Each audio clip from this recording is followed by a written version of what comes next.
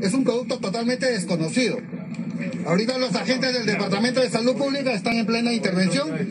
Dentro de unos instantes vamos a proceder a, a, a ¿Qué tipo de medicinas son estas? Son COVID-19, Son pruebas pruebas, rápidas. Dispositivos Pruebas rápidas. dispositivos médicos. Dispositivos médicos señala, bueno, las personas señalan- han dicho que van a dar las explicaciones a la policía en su momento, el tema del laboratorio, En unos embargo, instantes, unos instantes ¿Cómo eran comercializados? en las redes sociales se ha hecho un patrullaje cibernético en las redes sociales y se ha podido localizar a estas personas que se están dedicando a esta actividad ilícita, ilegal, eh, vendiendo de esta manera, como ustedes se pueden apreciar, ¿A cuánto lo ¿cuánto costó el a 70 soles, eh, parecer 80 soles cada unidad. En las redes sociales hay, hay entonces bastante, más de, más de 100 tabletas, lo que nos señalan que habría en este, en este lote de medicamentos que ha sido incautado. Ahí dice COVID.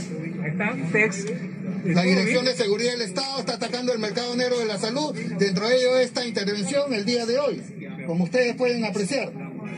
Un operativo más por parte de agentes especializados de la Dirección de Seguridad del Estado, Departamento de Salud Pública. solamente una recomendación para el público, para que no se deje No se sorprender. deje sorprender, señor. No se deje sorprender en las redes sociales. de estos Eso no- medicamentos y de otros, porque la gente va a justamente a las farmacias a comprar cosas Tiene que tener muchísimo cuidado, tener eh, cuidado con los registros, con lo que compra. No, eh, muchas veces pueden ser estafados, como ustedes pueden apreciar. Eh, no tiene ningún registro en los productos. En unos instantes un agente del Departamento de Salud Pública le va a declarar. Perfecto, entonces preliminarmente ya sabemos que son dos personas detenidas, que ah, es un grupo, como varios que existen por las redes sociales, y la recomendación que ya se ha dicho hace un instante es que la gente tenga la posibilidad de verificar si esto viene de un laboratorio acreditado, pero sobre todo que no recurra a esas prácticas o que no las fomente.